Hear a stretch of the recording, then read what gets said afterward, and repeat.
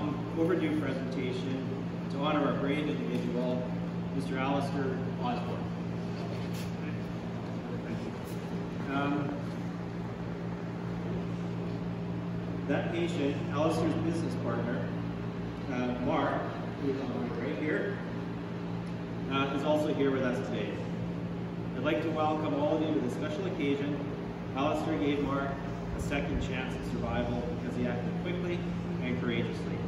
We're so happy to see Mark healthy and thriving in active work. As paramedics and dispatchers, we rarely get an opportunity to reunite with our patients, so it's an honor to be here indeed, and I thank you, gentlemen, for that. Before going into the story that brings us all here today, I'd like to briefly talk about the significance of the Vital Link Awards.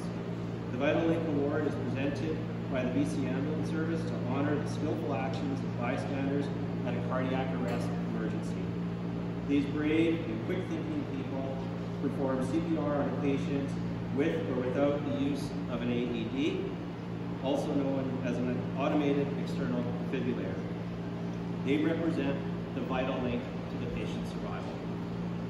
As November is CPR Awareness Month, we would like to highlight why learning CPR is incredibly, incredibly important. Over 45,000 Canadians suffer out of hospital cardiac arrest each year.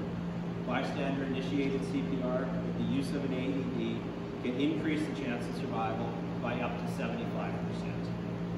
While it may seem intimidating to do CPR and apply an AED, I can tell you, as I'm sure Alistair can, it is not.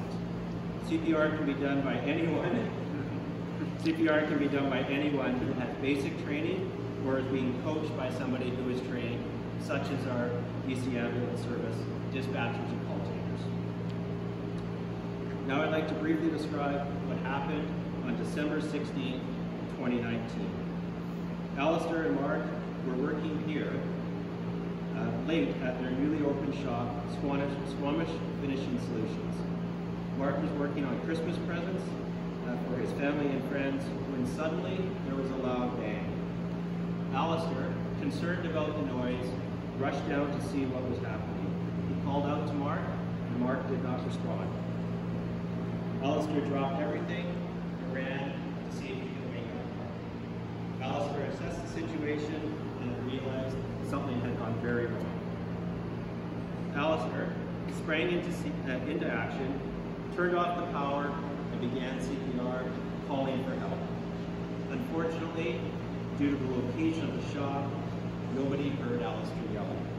Alistair knew he needed to call 911 immediately, so he ran to get his phone and continued CPR until first responders arrived, including BC Ambulance paramedics.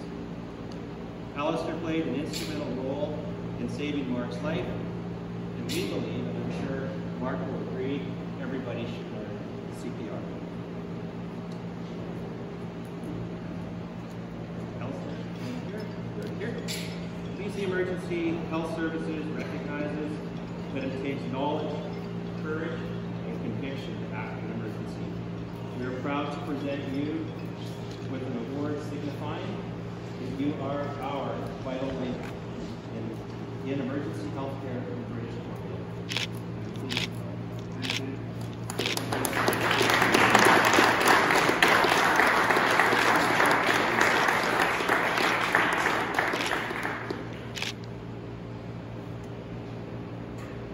Alistair, thank you for your heroism. I'd also like to take this opportunity as the chief of the Squamish uh, ambulance station to highlight the work that not only our paramedics did, but our entire first responder team did. We had uh, RCMP members respond who uh, initially started resuscitation efforts on the patient. We had Squamish Fire Rescue respond, who not only uh, performed life-saving CPR and resuscitation measures on our patient, but accompanied our paramedic crew to Squamish Hospital, where that care, again, was transferred seamlessly to Squamish uh, emergency uh, nurses and doctors who ultimately uh, resuscitated Mark, who is here with us today. So thank you to all of the first responders here in Squamish for a job well done.